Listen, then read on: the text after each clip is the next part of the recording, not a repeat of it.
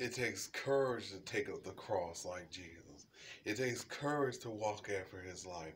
It takes courage. And God, thank you for the heroes and the heroines who walked after you, who took the persecution, who took the lying, who took the stealing, who took all the interrogation that they've been through. My hero was Dr. King, not because he was the most perfect, but because he took after the cross. He tried his best to do what was right, and he asked for forgiveness for the things that weren't right. And I saw after he was tested on every side, after he was pressured to turn around, after he had to show weakness so that God could show his strength. And that's what we need heroes and heroines who say, I will take up the cross, I'll take God's will, and I'll take God's love, and I will walk in his will, and I'll walk in his love. To be to be role models for our children, to show them the way to to be, to show them the way to heaven, to show them that they do not have to be sinners. They do not have to uh, wallow in pain. They do not have to be broken. They do not have to be abused. They do not have to be mistreated. But they can be strong towers.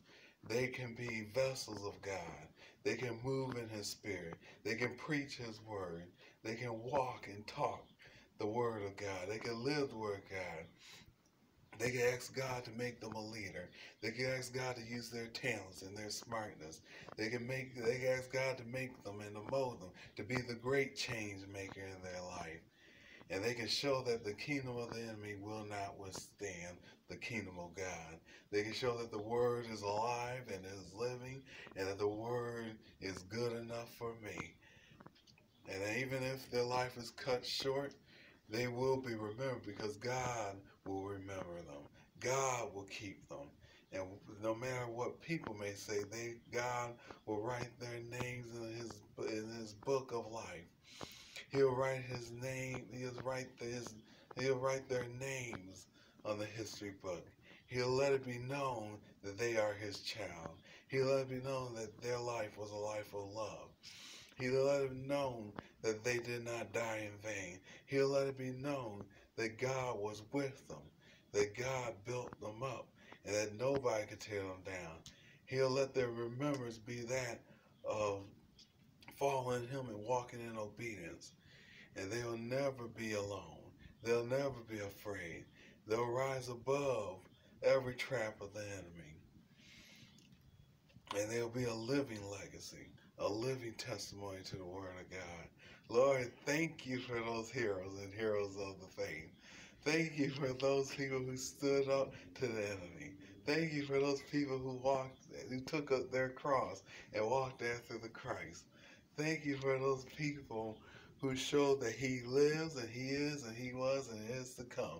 Thank you for those people who preached this word, who said that God is and that God is a rewarder of those that diligently seek him, that God is the crown of life, that God is the crown of righteousness, that walking in his way will sustain you, that walking in his truth will build you up, that his word is, is life, everlasting life, and that there is no evil in him, there is no sin in him, that he is purely holy, that he is purely righteous, and he was a reward of those that diligently seek it. Lord, thank you for those heroes and heroes of faith.